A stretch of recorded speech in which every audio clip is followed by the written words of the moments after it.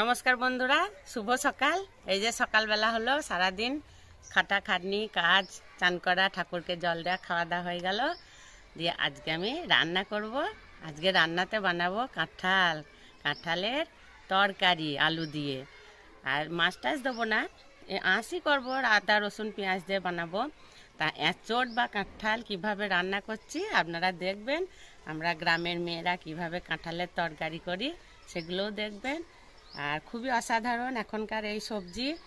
এই সময়তে খেতে হয়, এই সময় খাওয়াও ভালো। সজনির ফুল একদিন খাওয়া হয়েছে, দেখানো হয়নি। কাঁঠাল এই আজকেই খাব।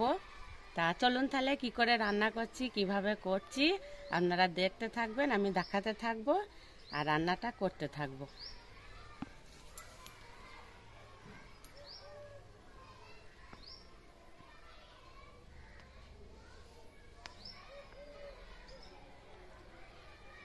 কাঁঠাল হওয়া মানে ষষ্ঠী আসা। ষষ্ঠীর সময় পাকা কাঁঠাল খাওয়া, তারপরে কাঁঠালের ঝাল খাওয়া। কাঁঠাল হয়ে যাওয়া মানে ষষ্ঠী পুজো আসার ধুম, তাই না? চলুন তাহলে শুরু করি গা। কাঁঠালটা বনিয়ে নেব, এই যে এই জলে হলুদ দেবো। হলুদ দিলে কাঁঠালটা, এই জলে রাখলে কাঁঠালটা কালো হবে না, কালারটা ভালো থাকবে। এবারে কাঁঠালটা কেটে নেব।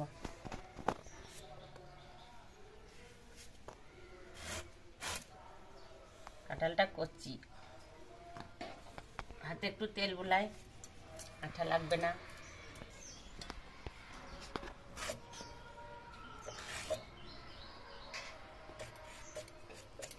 এটা ফেলে দেবো। এটা কালো কালো।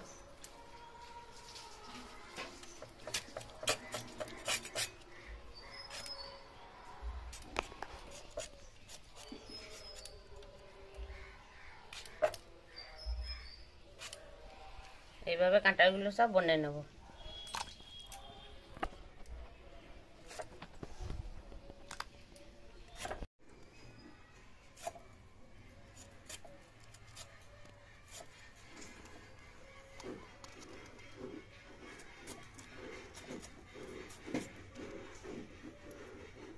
কাঁঠালটা বানানো হয়ে গেল।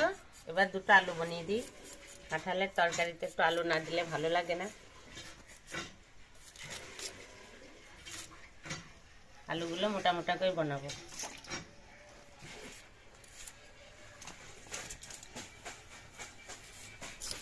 আলু বানানো হয়ে গেল, আদা, রসুন, পেঁয়াজ, এগুলো ছাড়িয়ে কুচিয়ে বেটে সব নিই রেডি করে।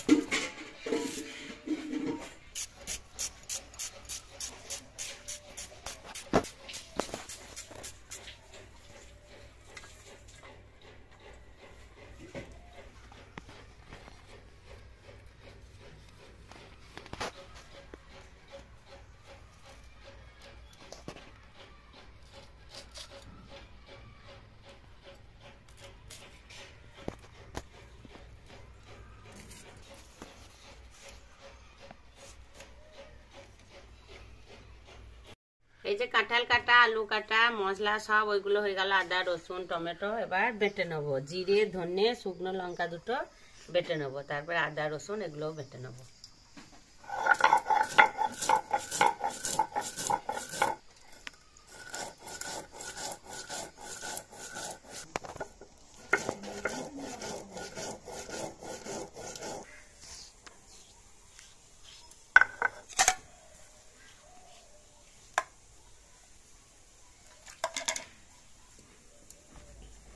জিরে, ধনে, শুকনো লঙ্কা বাটা হয়ে গেল, এবার আদা রসুনটা বেটে নেব।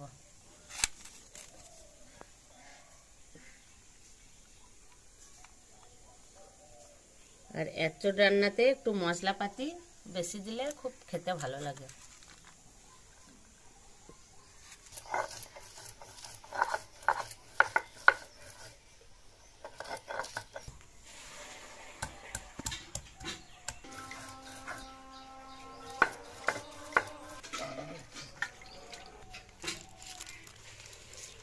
কাঁঠালের তরকারিতে মশলাটা দেবো লবঙ্গ এলাচ দারচিনি।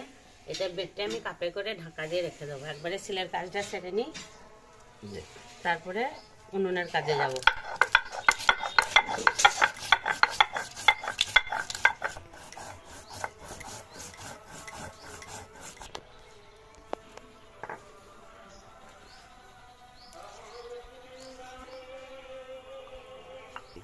এবারে মশলাটা তুলে নিলাম, ঢাকা দিয়ে রেখে দিলাম।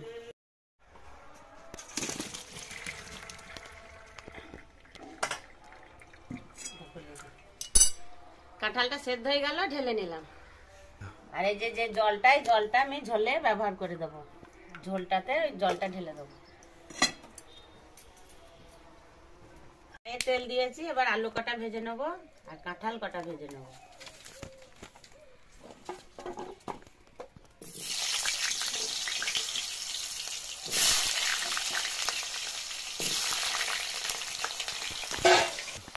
আলুগুলো ভাজা হয়ে গেল। লাল লাল করে এবার আলুগুলো তুলে নেব।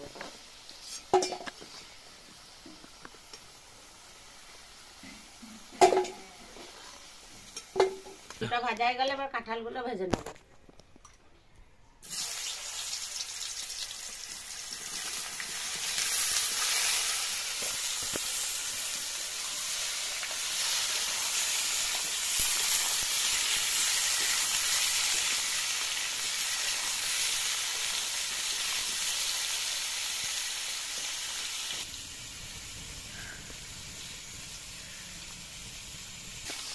কাঁঠালটা খুব সুন্দর করে ভাজা হলে এবার নামিয়ে দিলাম।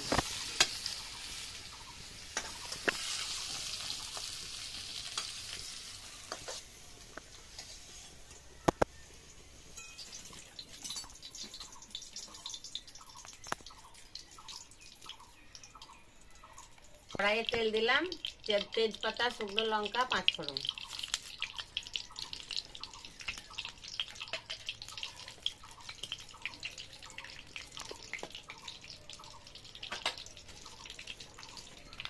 এবারে পেঁয়াজগুলো দিয়ে দেবো তেলে।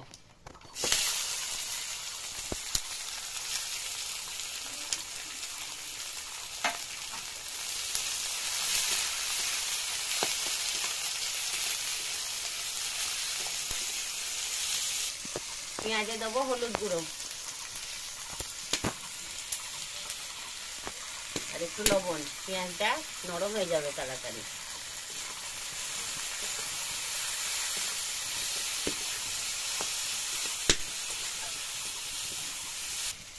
কাঁচা লঙ্কা টমেটো আদা রসুন বাটাটা দিয়ে দেবো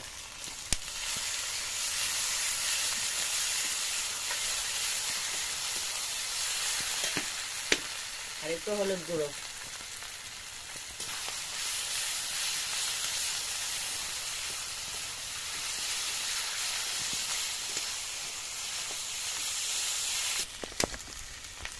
লঙ্কার গুঁড়ো।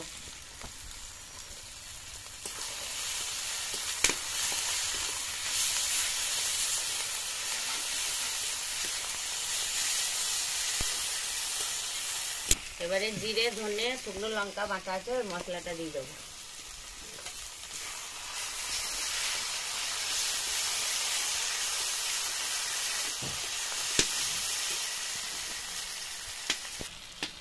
অল্প চিনি দেবো স্বাদ আসার জন্য।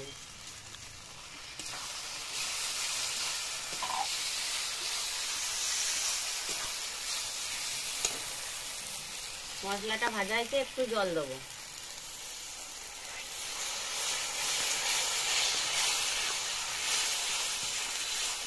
ভালো করে ভাজা হলে যায় সুন্দর মশলাটা ভাজা হয়েছে যখন এবার কাঁঠাল, আলু দিয়ে দেবো।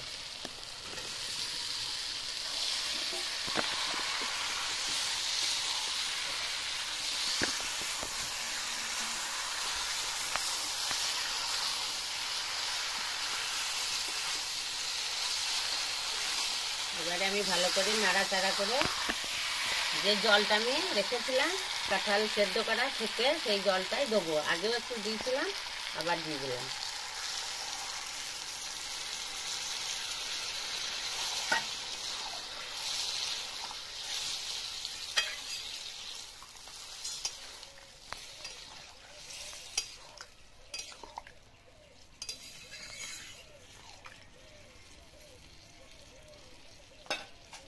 এবারে লবণ দেবো, দিয়ে ঢাকা দেবো।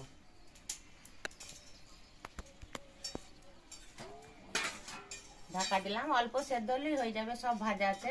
একটু ফুটে উঠলে নামিয়ে দেবো।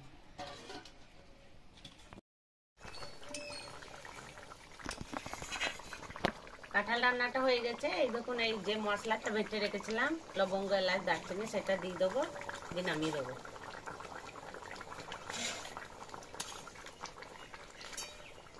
কাঁঠাল রান্নাতে একটু গরম মশলা, বাঁটা দিলে খুবই স্বাদ হয়।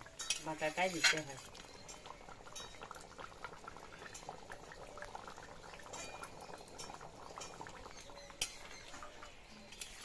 এইরকমই নামাবো, একটু ঝোল ঝোল, দুপুরের ভাতে খাওয়া হবে।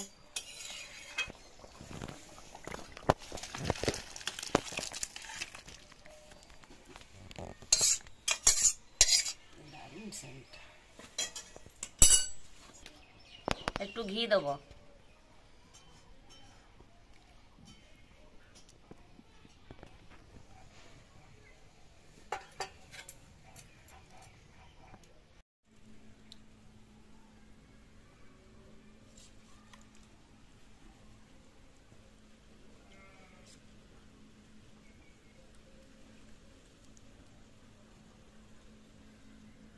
কাঁঠাল রান্নাটা আমার হয়ে গেল।